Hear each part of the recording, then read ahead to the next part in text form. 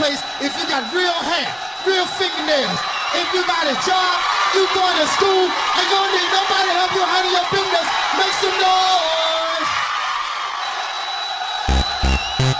business. Make some noise.